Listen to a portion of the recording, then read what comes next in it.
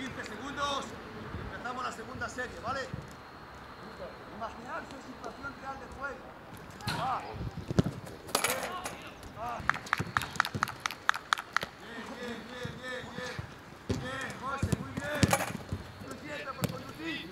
Siempre busca un aparato.